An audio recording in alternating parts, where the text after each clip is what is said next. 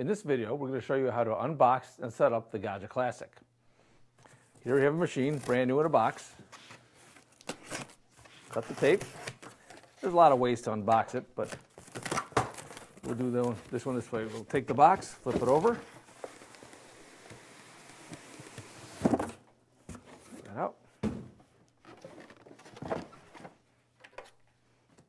Cut the seal here. And we'll just pull them up, pull that out.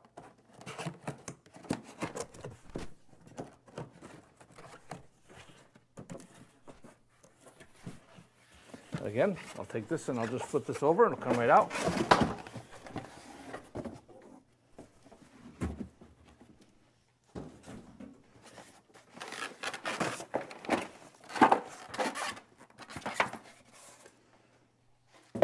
Okay, you have the machine. Here's your drip tray that comes with it and your water reservoir.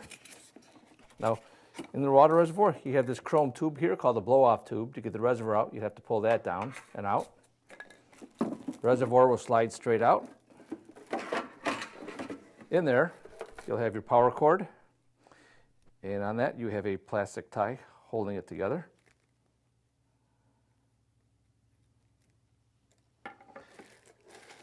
And we'll remove the plastic cover from the reservoir, plastic bag. Now when you put the reservoir in the machine, you can fill it and put it in, or put it in, make sure these two tubes are raised up. When you push the reservoir in, these tubes are down near the bottom of the reservoir. It is possible for them to get curved up and be facing up above the water level in the boiler or in the reservoir. We don't want that to happen. Now you have your accessory box here. In here we have all sorts of goodies. You have your drip tray.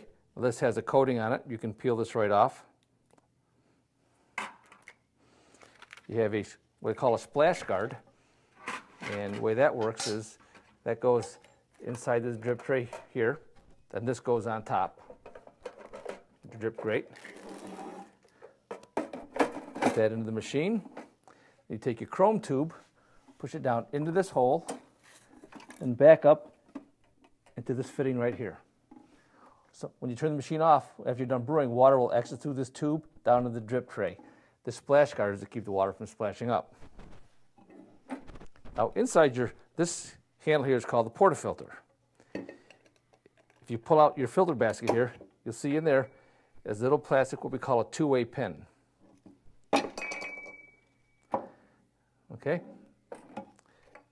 And here's your, your double shot filter basket, which is used for your ground coffee.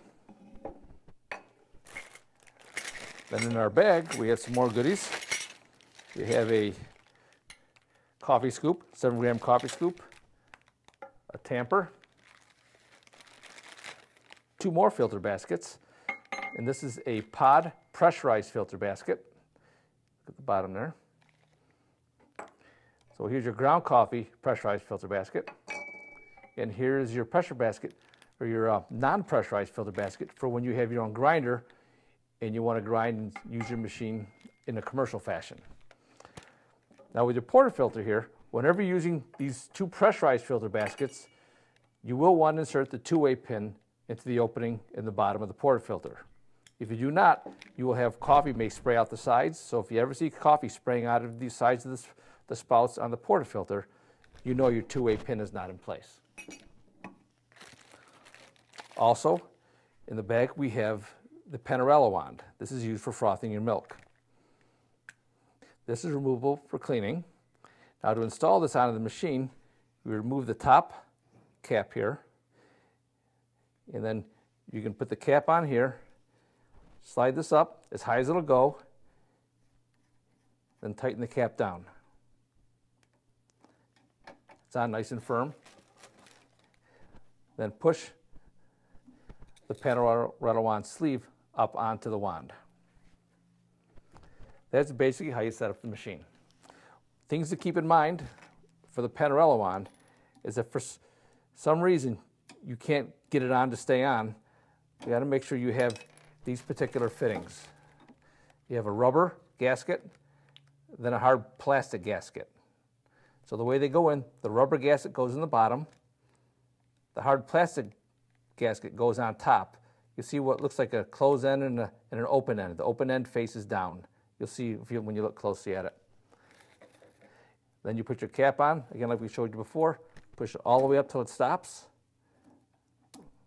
up till it stops, and tighten it down.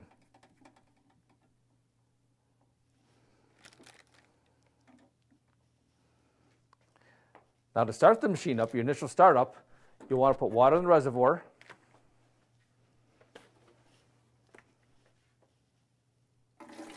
Right through this opening here.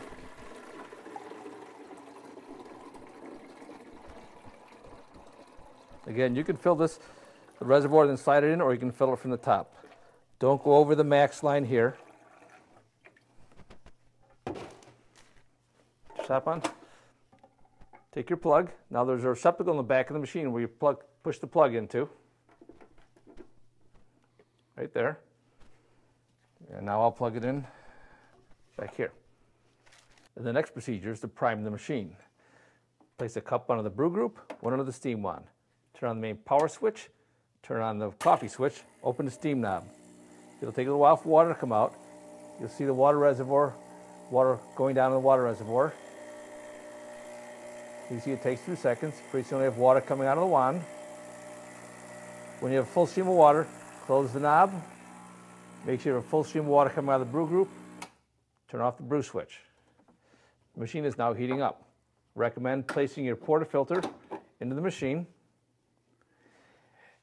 In this temperature ready light will go on after around two minutes, but we recommend letting the machine heat up for 10 minutes before you actually start to brew.